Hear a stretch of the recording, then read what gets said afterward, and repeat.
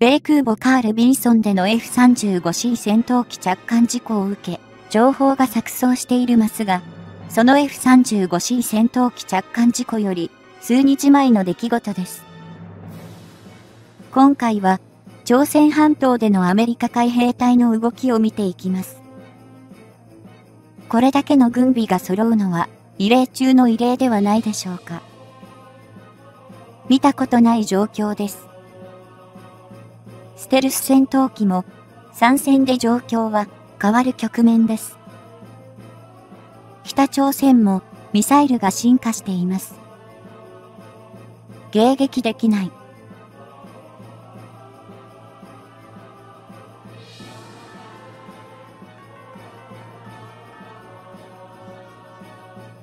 現在、米海兵隊原子力空母3隻と強襲揚陸艦2隻が朝鮮半島近くへ集結していることをご存知だろうか。当然、空母打撃群による編成であり、最新鋭のステルス戦闘機も F35B と F35C までも完載されているため、世界中の注目を集めている。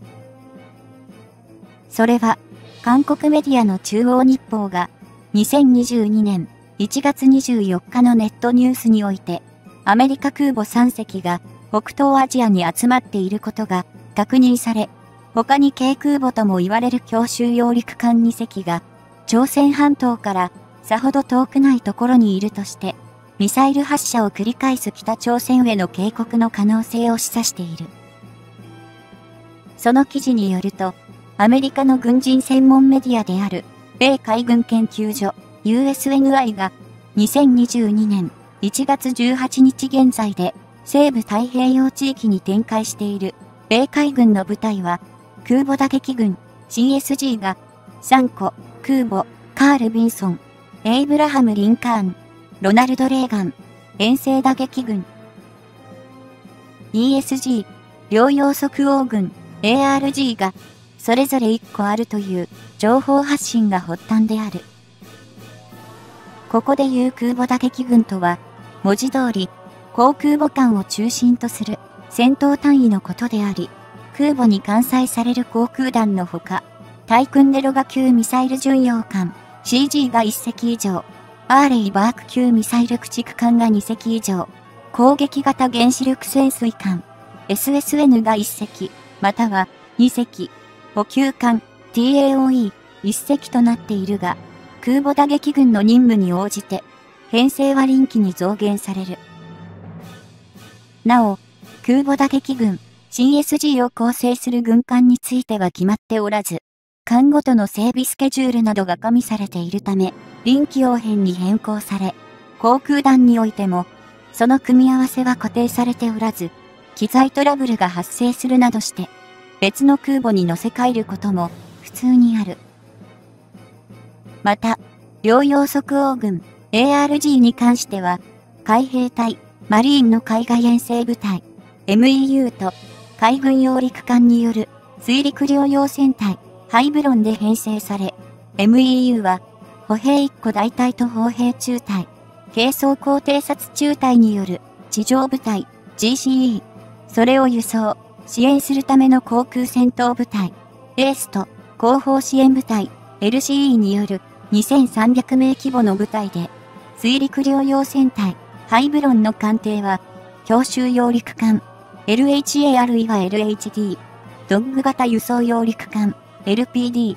ドッグ型揚陸艦、LSD が各一隻ずつとなっている。これだけ、大規模な両用即応軍、ARG であっても、海兵隊が上陸作戦を展開する際の海上からの火力支援や、敵艦が出現した際の対水上打撃能力が不足しており、以前は空母打撃群の援護を想定していたが、近年は空母打撃群の任務出動が増えたため、強襲揚陸艦 LHA に F35 ライトニング2の垂直短距離地着陸型ストブルである F35B を搭載して航空戦力を持たせ、水上戦闘艦3隻の水上戦闘群 SAG に攻撃型原子力潜水艦1隻を加えて編成強化されたものが遠征打撃群 ESG である。このような状況の中、海上自衛隊は2022年1月17日から22日にかけて空母カール・ビンソンとエイブラハム・リンカーンそれぞれの空母打撃群と海自護衛艦ヒューガが沖縄南方のフィリピン海上で共同訓練を実施しており、米海軍も自由で開かれたインド太平洋地域を守るために海自護衛艦との共同訓練を実施したと発表している。蒸気空母2隻以外に参加した米海軍艦艇は、タイコンデロガ級ミサイル巡洋艦、レイク・シャンプレーン、モービル・ベイ、アーレイ。バーク級ミサイル駆逐艦、ジャフィー、グリッドレイ、スプルアイス、強襲揚陸艦、アメリカ、エセックス、ドック型揚陸艦、パールハーバーと。公表している。この訓練が終了した翌日2022年1月23日には、台湾の防空識別圏。ADIZ に。中国軍機の編隊が侵入。戦、16戦闘機24機、戦10戦闘機10機、Y9 輸送機2機、Y8 追戦勝回機2機、核爆弾を搭載可能な H6 爆撃機1機で、今年度に入って最大規模の39機が侵入したと台湾国防部が発表しており、タイミング的には共同訓練に反発した動きか、訓練情報の収集が中国軍の目的だろうと言われている。前としたカール・ビンソンとエイブラハム・リンカーンは、訓練後それぞれの空母打撃軍を率いて、23日に南シナ海に展開し、対戦、対空、対水上艦訓練などを実施しており、米海軍では、同盟国には安心を与え、有害となる影響に対抗し排除するための決意を示すと言っている。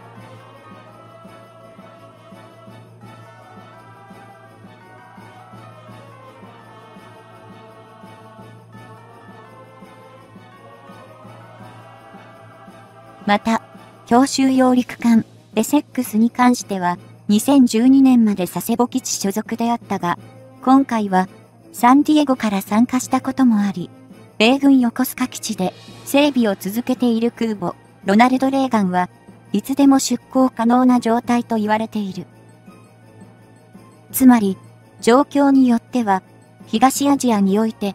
米海軍の空母が3隻展開されることになり、2017年11月に北朝鮮が核実験や弾道ミサイルの発射実験を繰り返した時以来となるが、この時には、ニミッツ、セオドア・ルーズベルトがアメリカ本土から来訪し、ロナルド・レーガンと共に日本海で軍事演習を展開していて、韓国海軍艦艇も参加していたことを思い出す。また、朝鮮日報の記事では、元凶を鑑みて、アメリカ空母が3隻出動して2017年に続いて、北朝鮮に警告を発していると解釈していているらしいが、今回は演習を展開している海域がフィリピン海及び南シナ海であることや、韓国海軍は招集されていないことなどから考えれば、明らかに中国への警告であり、あくまでも北朝鮮はおまけみたいなものであるということを理解していないようだ。まもなく、冬季北京オリンピック開催を控えている中国の軍事活動について、ここ最近は静かではあるものの、オリンピック後の暴発は予期しておかないといけないし、ロシアによって、ウクライナ情勢の緊張が高まっている中で、西で、ロシアと東で、中国と同時に暴発した場合、アメリカがどこまで対応できるのかという懸念もある。そして、万が一、中国の動きに合わせて、北朝鮮も無謀に暴発するようなことがあれば、もはや、日本を戦争に巻き込むな、などと叫んでいる場合ではなくなり、是が非でも、日本に戦火が降りかかってくることを避けることはできず、降りかかる火の粉を大きくしないように、自国力で払わなければならない。アメリカは、すでに、ウクライナと台湾、それぞれの有事に対応するため動き始めており、東欧へは、NATO 即応部隊、NRF に、米軍を増加派遣する準備を進め、台湾防衛のためには、3個空母打撃群を展開しているといった状況である。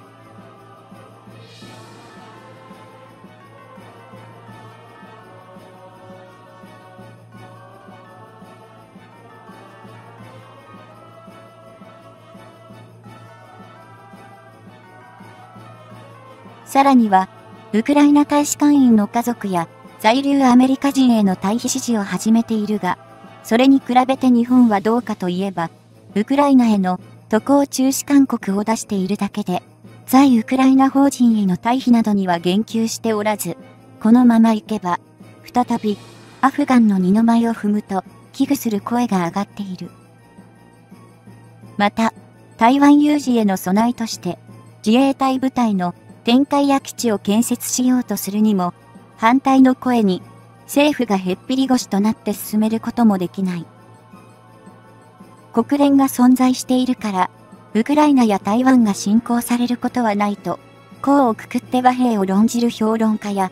外交努力で解決すべきとの主張を繰り返す左翼系の議員や活動家は、これまでのロシアや中国の反応を見てきて、この木に及んでも話し合えばわかると、本気で信じているならば、まさに頭の中がお花畑である。ロシアのプーチン、中国の習近平、そして北朝鮮の金正恩、いずれも話して和解する相手ではないのは、彼らの今までの言動からも明白であり、思い止まらせるには、その野望を打ち砕くだけの全世界の戦力を一致して見せつけるしかないと思慮する。